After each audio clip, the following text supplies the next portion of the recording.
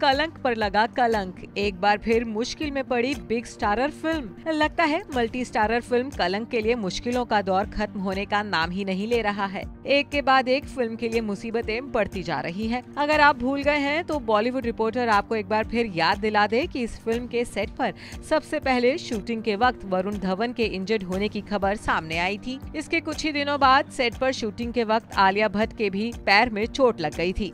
मामला यही खत्म नहीं हुआ था।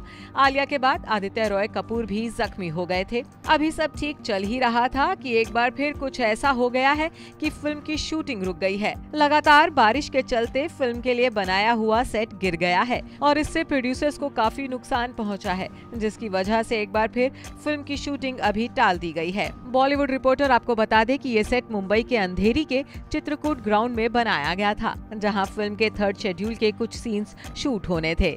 31 जुलाई से फ़िल्म की टीम 20 दिन का शेड्यूल शूट करने वाली थी, लेकिन अब शूटिंग को दो हफ़्ते के लिए पोस्टपोन कर दिया गया है, क्योंकि उन सभी के स्टार्स के डेट्स पर फिर से काम करना है, जिनके सीन एक साथ शूट करने हैं। लेकिन अब मेकर्स ने शूट शुरू करने के पहले बारिश के रुकने तक का फैसला किया है। बता दें कि इस सेट को अमृता लाल ने डिज़ाइन किया था। अब सेट को पहुँचे नुकसान के चलते इसे दोबारा बनाया जाएगा। इसके बाद ही फ़िल्म की शूटिंग शुरू हो पाएगी और अब इस इंसिडेंट की वजह से फ़िल्म की शूटिंग तकरीबन नवंबर तक खत्म होगी। वहीं फ़िल्म 19 अप्रैल 2019 को रिलीज़ होगी।